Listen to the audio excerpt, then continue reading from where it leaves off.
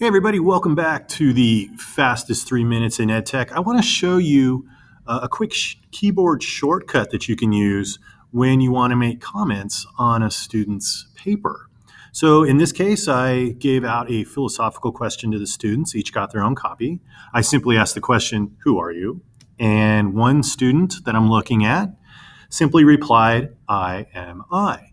So of course, over here on the right, I can give them their points. So we'll give him, um, let's give him 90. We can give him 90 and a half. We'll give him 90.5 because you can now add decimals to grades. And if I want to add a private comment to them, good thinking, um, I can do that as well. Now, if I want to make specific notations to specific parts of their um, essay or their questions, you would simply just go over here to the right and you choose where you want to insert your comment. So I want to comment about his answer. Said uh, interesting. So I'll just type that and I'll comment.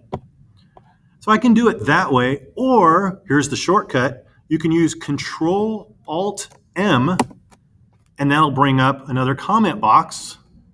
Very cool and hit comment.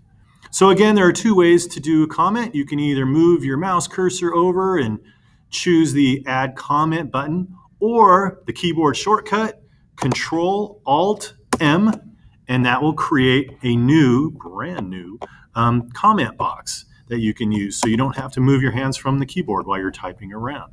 Okay, I hope that helps and enjoy the rest of your day.